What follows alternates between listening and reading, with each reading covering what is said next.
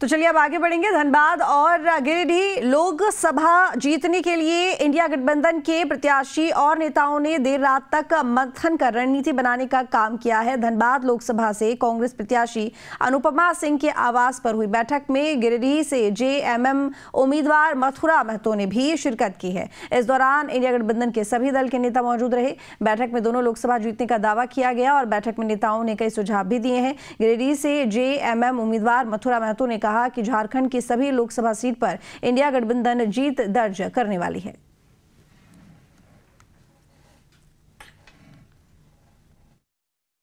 जो चुनाव होने जा रहा है लोकसभा का, चौदह लोकसभा हम लोग इंडिया गठबंधन के लोग जीतेंगे।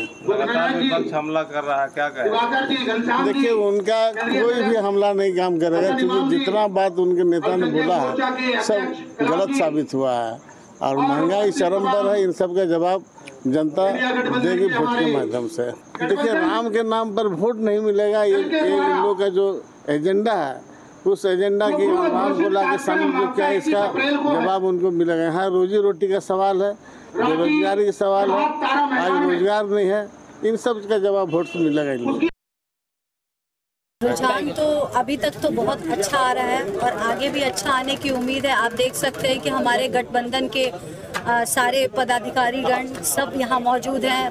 रात के 12 बजने वाले हैं। फिर भी सब में जोश अभी भी कायम है और हम सबने ठान लिया है कि ये इलेक्शन हमें जीत के दिखाना है और अपना उत्साह बढ़ा के रखना है ताकि 25 तारीख को ज़्यादा से ज़्यादा वोट हमारी तरफ़ आ सके और हमने, हम जीत सके। क्योंकि वो बीजेपी से खड़े हैं उम्मीदवार, मैं कांग्रेस से खड़ी हूँ और जैसा कि आप लोग शुरू से देख रहे हैं पर दिखाना नहीं चाह रहे हैं शायद, पर जब से मैं प्रत्याशी घोषित हुई हूँ तब से और उसके पहले से मैं उनको स्टडी कर रही हूँ तो मुझे लगा कि अब मुझे ये इलेक्शन लड़ना चाहिए और ढुल्लू महतो जी के आतंक के खिलाफ खड़े होना चाहिए।